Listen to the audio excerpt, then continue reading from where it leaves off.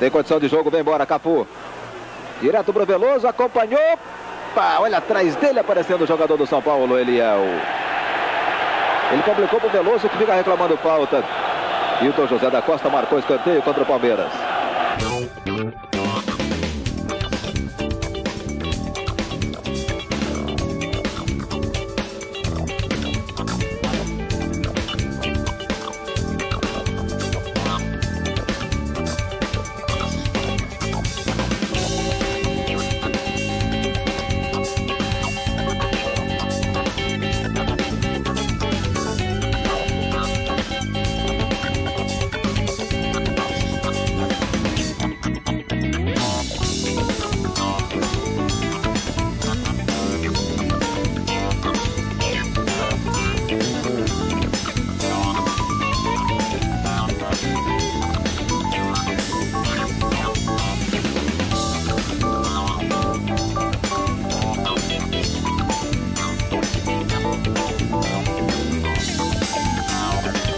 Era o Raí.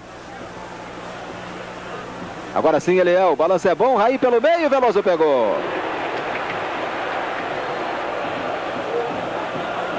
Bonita trama do ataque do São Paulo com a bola terminando nas mãos de Veloso.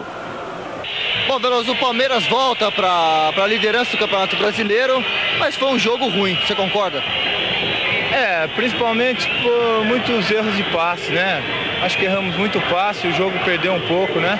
É só beleza, talvez a forte marcação das duas equipes, né? Se preocupando em somar pontos, acabou, é claro, não sendo um jogo bonito. Mas eh, a gente tem que dizer também que o Palmeiras voltou à liderança e isso é importante se manter na ponta para poder se classificar.